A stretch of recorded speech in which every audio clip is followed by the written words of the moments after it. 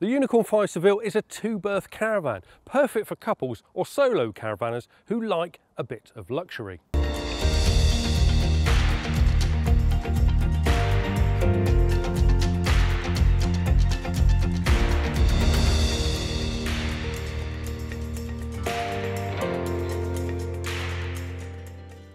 Now this is the smallest and lightest unicorn in the range and with an MTPLM of just 1450 kilos it means it can be towed with a tow car such as a Volkswagen Passat 4Motion. But let's go inside and see what makes this caravan so special.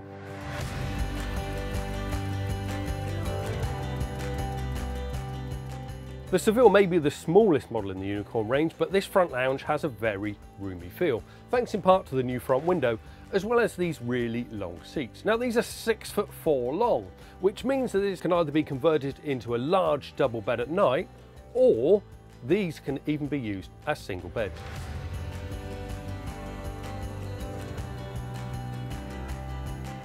The middle of the Seville is equally roomy as well. We have a sideboard here with a TV point, which means the TV can be watched from the kitchen or from the lounge.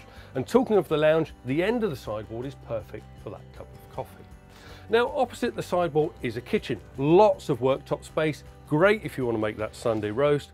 And below all that worktop space is a fridge, separate grill and oven, dual fuel hob under here, sink and lots of storage.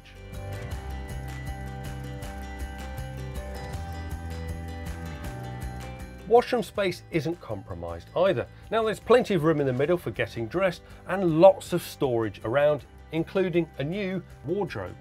The shower's equally roomy as well, plenty of space for a dog bed in the shower tray, and there's that hanging rail which is perfect for wet towels or coats.